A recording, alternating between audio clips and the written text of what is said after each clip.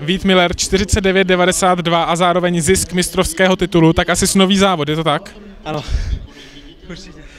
Chystal jste se na ně nějak speciálně, nebo jste především chtěl titul?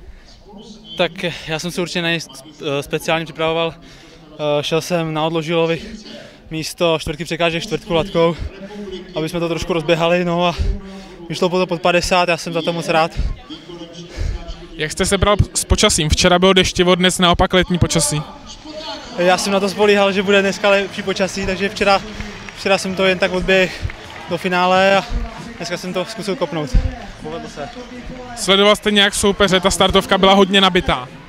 Já jsem určitě sledoval soupeře a jsem rád, že běhají tak rychle, že je to uh, větší impuls do mě a k dalším zlepšením. Poprvé v životě jste stlači, stlačil čas pod 50 vteřin, tak kam ještě si věříte, že by to mohlo jít?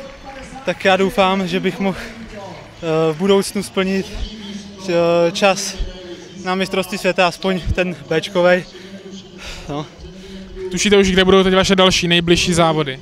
Uh, tuším a doufám, že to bude ve Francii na mistrovství Evropy družstev. Děkuju moc.